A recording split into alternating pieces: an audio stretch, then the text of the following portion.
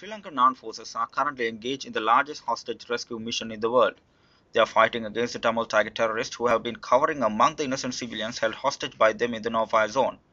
Today, Sri Lankan forces achieved a tremendous success in their humanitarian operation as they have been able to rescue over 35,000 civilians from the terrorist grip.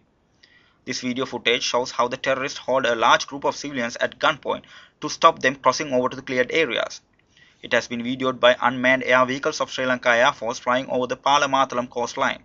The terrorists drew a line on the coast by tar tracks of a vehicle and threatened the civilians that they would open fire at them if they dare to cross that line.